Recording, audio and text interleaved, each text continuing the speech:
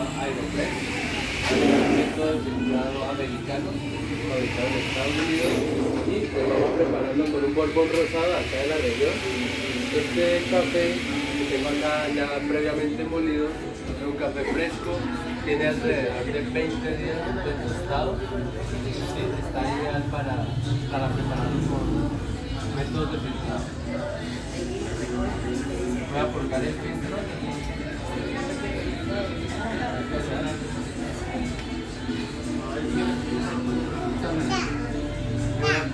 Purgar también un poco el método, como para eliminar de pronto algún residuo, algún olor desagradable.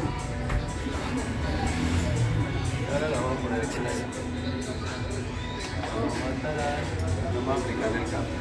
Esta molienda es media fina, es un poquito más gruesa que una molienda fina. Para la máquina de espresso normalmente utilizo una molienda fina y para esta un poquito más.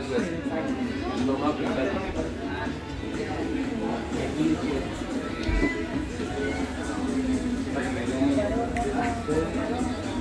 Vamos a sacar tres tazas. Vamos a